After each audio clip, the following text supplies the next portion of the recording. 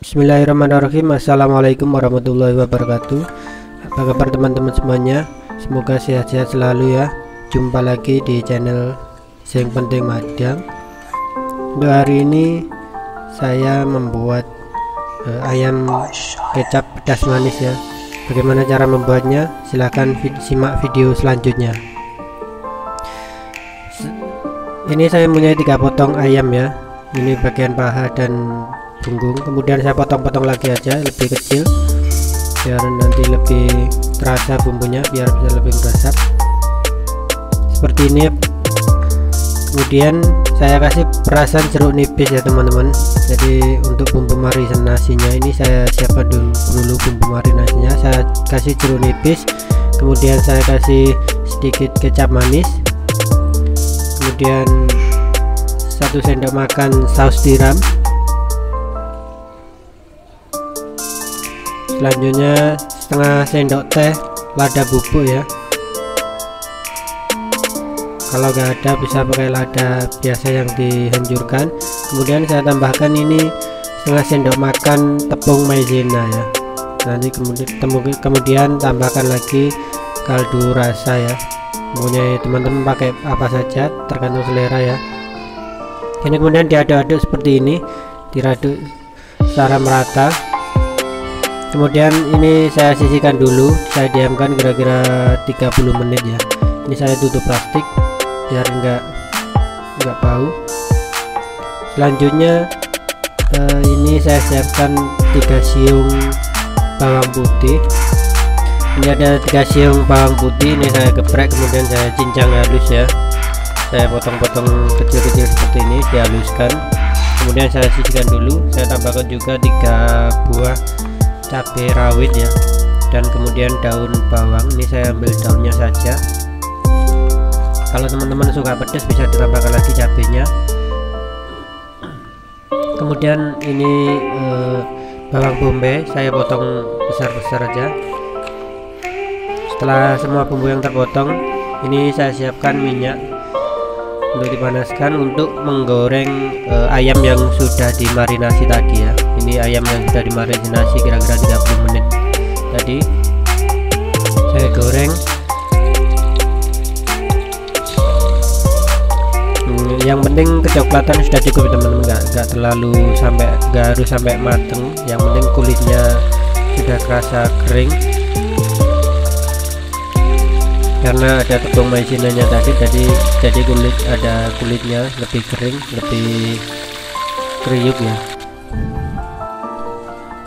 Selanjutnya saya tambahkan satu sendok makan mentega ini saya lumerkan dulu. Setelah lumer seperti ini ini fungsinya untuk menumis bumbu-bumbunya tadi ya. Nah, ini saya masukkan dulu bawang putih yang sudah dicincang tadi. Ditumis sampai harum jadi kenapa saya pakai mentega biar baunya lebih harum. Nah kalau sudah matang begini sudah harum masukkan juga eh, potongan bawang bombay dan cabai rawitnya tadi ya. Kemudian ditumis kalian sampai layu ya kira-kira kalau sudah layu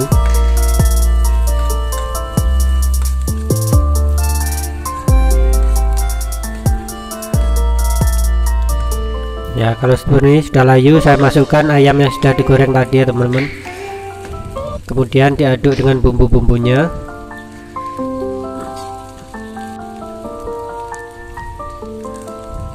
Selanjutnya tambahkan kira-kira 100 ml air ya. Jadi nggak usah terlalu banyak karena ini bumbunya sudah matang ayamnya pun sudah cukup matang. Kemudian tambahkan saus tiram saya pakai satu sendok makan.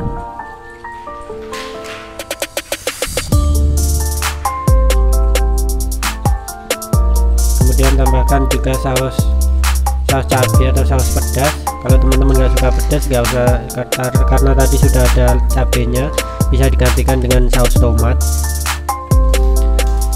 Ini juga saya tambahkan saus tomat biar warnanya lebih cerah ya lebih merah dan nanti tambahkan eh, satu sendok makan gula pasir.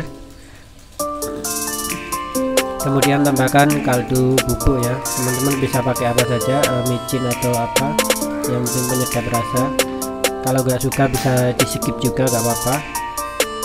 Ini sama sekali saya nggak saya tambahkan garam ya teman-teman karena e, kuahnya nanti sedikit ya. Ini saya tambahkan juga kecap manis 2 sendok makan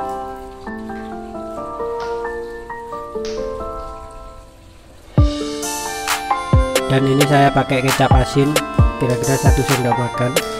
Jadi makannya nggak nggak nggak memakai garam sama sekali. Ini sudah terasa asin sudah cukup. Kemudian diaduk seperti ini. Untuk biar bumbunya lebih meresap ini saya tutup saja. Saya pakai api sedang. Jadi biar bumbunya lebih meresap lebih lama kalau kira-kira sudah kuahnya sudah tinggal sedikit saya masukkan potongan bawang daunnya. Kemudian saya tutup lagi kira-kira 3-5 menit. Sudah cukup karena ini sudah semuanya sebenarnya sudah matang. Ya jadinya seperti ini teman-teman ya. E, kuahnya sedikit lebih kental. Dan ini bumbunya bisa meresap sampai dalam. Sudah matang teman-teman. Ini siap untuk disajikan jadi caranya sangat mudah sekali teman-teman kalau ingin membuat. Caranya sangat gampang dan ini rasanya sangat enak sekali untuk buka untuk menu sahur ataupun buka. Sekian dulu video dari saya teman-temannya.